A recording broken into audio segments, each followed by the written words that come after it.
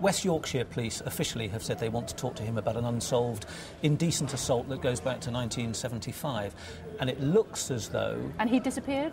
They didn't know Uh, where he yeah, was? they were actively seeking him. We, we were told a couple of weeks ago, well, somebody's found him. Perhaps it was just the Madeleine investigators. Anyway, now he's been found, West Yorkshire Police have asked permission from the German authorities, where he is, if they can speak to him. Now, we don't know whether that's been approved, but the collection of his DNA, he's given it voluntarily, seems to be all about it being passed to the West Yorkshire Police Yeah.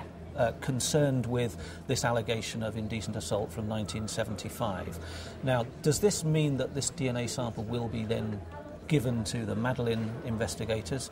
It's not clear, but we do know from Monday that Mr. Hewlett did finally say that he would talk to the Madeleine investigators. So, if he's prepared to talk to them on the basis that he's got nothing to hide, which is what he said, presumably he will then give them their own sample of his DNA. If he does that, how relevant is that?